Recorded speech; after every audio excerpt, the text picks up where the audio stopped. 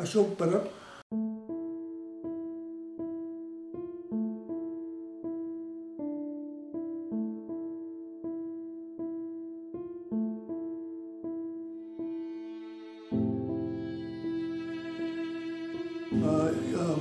Lieutenant Bhushan Ajay Ashok Parab का पिताजी हूँ।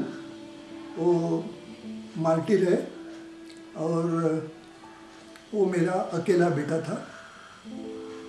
अकेला संतान था मेरा। और वो खुद के हिसाब से, खुद के विचार से आर्मी में ज्वाइन हो गया था। वो बी इंस्ट्रूमेंटेशन इंजीनियर था। 99 शुरुआत में। 2000 1999 में उसका अलाहाबाद में उसको कॉल आया इंटरव्यू को।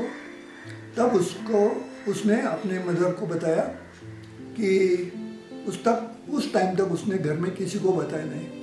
मेरा पोस्टिंग आ, पणजी में गोवा में था और घर में सिर्फ़ उसकी मदर और ओ वो दो जन थे। और उस टाइम उसने बताया कि उसको अलाहाबाद में कॉल आया है इंटरव्यू का आ, इंडियन आर्मी से। तब उसकी मम्मी ने बोला कि भैया तो हमारा अकेला संतान है तू मत जा। उसने बोला नहीं नहीं मैं तो जाने वाला ही हूँ और उसके लिए आपका परमिशन मुझे चाहिए। तो फिर उसने उसके मम्मी ने मेरे को फ़ोन किया पंजी ने कि ज़रा आप बोलिए उसको नहीं जाना। तो मैंने उसको समझाया कि जाने तो अच्छा काम कर रहा है। और फिर उसको हमने भेजा इलाहाबाद में। उधर पहले ही स्टॉप में वो पास हो गया और उसको चेन्नई में ओ टी चेन्नई में ट्रेनिंग के लिए भेजा गया अक्टूबर 99 में। और उसी के पहले सितंबर 99 में उसके मदर का देहांत हो गया।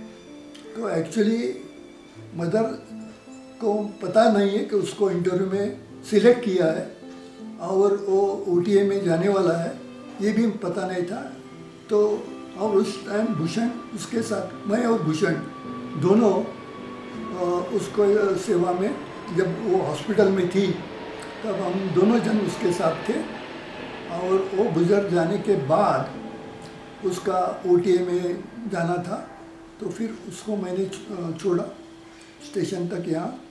और फिर वो ओटीए गया, उधर ट्रेनिंग हो गया उसका दस तारीख तक। और फिर अक्टूबर 2000 में उसका पोस्टिंग हो गया सिलेक्ट हो गया वो पहला।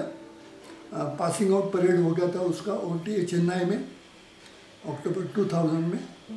और सितंबर 2000 में और अक्टूबर 2000 में उसका पोस्टिंग हो गया, अमृतसर, पंजाब में।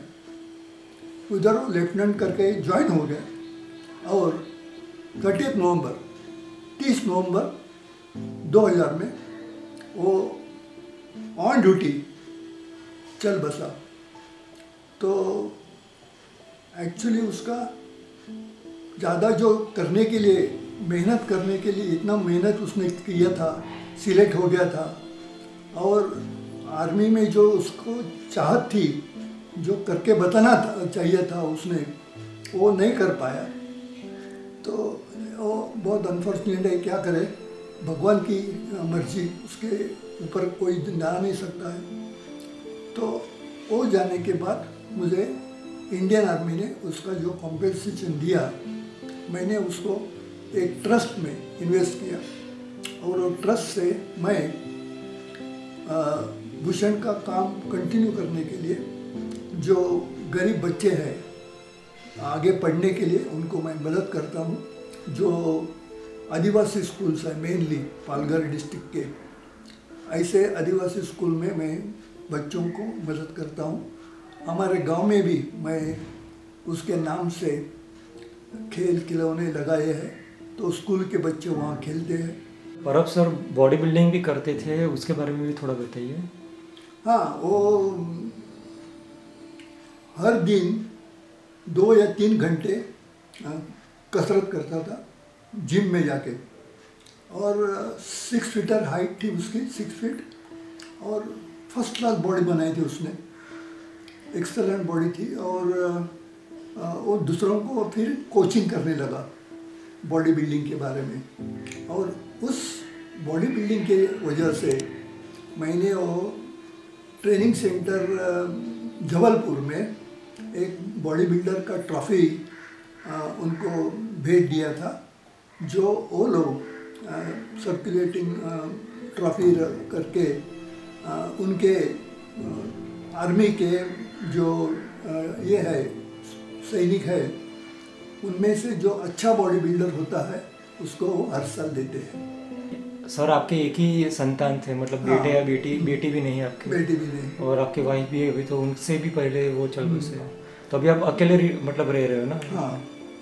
तो ये एक मतलब है कि एक शहीद के पिताजी को अभी मतलब उनके जाने के बाद अकेला रहना पड़ रहा है। तो लोगों को इतना ज़्यादा नहीं पता होता है तो हाँ ये सही है बात क्योंकि अकेला रहना पड़ता है क्योंकि मेरे भी भाई हैं, बहन है, लेकिन सब अलग अलग घर में रहते हैं। अलग है हर एक का, हर एक प्रॉब्लम होता है। तो मैं यहाँ रहता हूँ, अलग अलग से अकेला रहता हूँ। मेरा माइंड मैं बिज़ी रहता हूँ अलग अलग चीज़ में। रीडिंग करता हूँ, पढ़ाई करता हूँ, कुछ ना कुछ लिखना वगैरह चालू रहता है मेरा। तो मेरा कोशिश यही है कि मैं सुबह कसरत करता हूँ, योगा करता हूँ तो मेरे को खुद को बॉडी फिट रखनी है और चलना है ज़्यादा से ज़्यादा।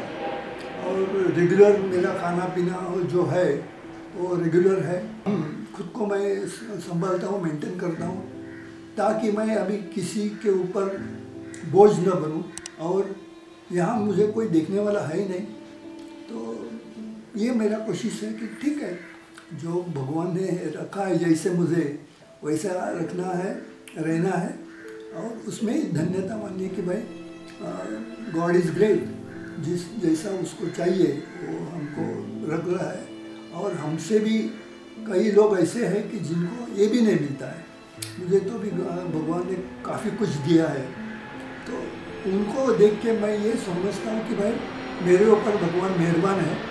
और उसी में धन्यता मानकर मैं चल रहा हूँ, भले मैं अकेला हूँ, मेरे साथ कोई है नहीं। लेकिन ऐसा देखेंगे तो पूरा भगवान का आशीर्वाद मेरे साथ है और लोग मेरे वेल विशर्स हैं, मेरे फ्रेंड्स हैं, वो भी मेरे को कभी कभी याद करते हैं। तो उतना काफ़ी है मेरे लिए।